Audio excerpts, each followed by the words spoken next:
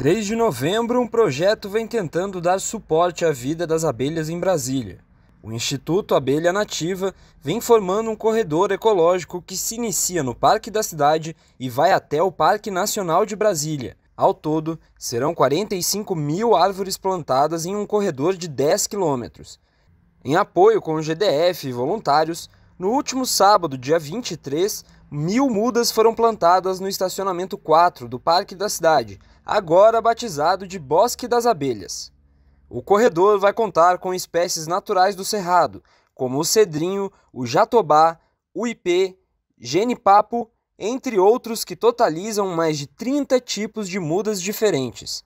Já são mais de 80 voluntários no projeto que já tem um próximo destino as proximidades do Instituto Nacional de Meteorologia, o INMET.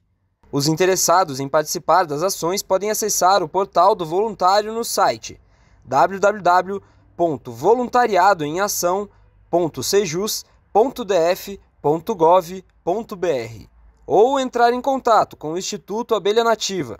O telefone e e-mail do Instituto estão disponíveis no site www.institutoabelhanativa.com www.org.